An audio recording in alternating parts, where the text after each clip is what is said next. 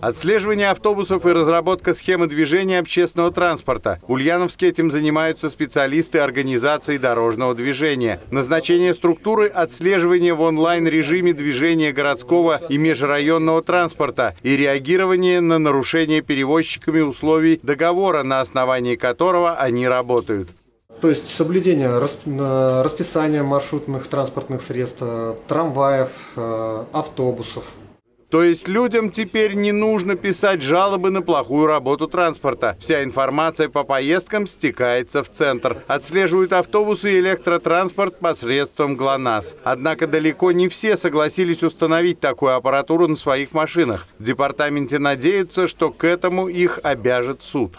По неподключению перевозчиков к данной системе министерством были сформированы исковые заявления в отношении перевозчиков. В настоящее время указанные материалы находятся на рассмотрении в судах.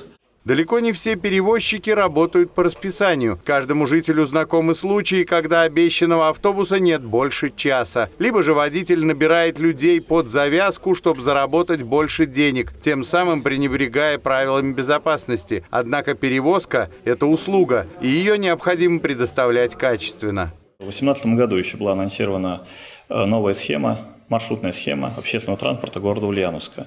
Вместе с тем, то есть если внимательно изучить, видно, что основной вид транспорта, который определен не это трамваи.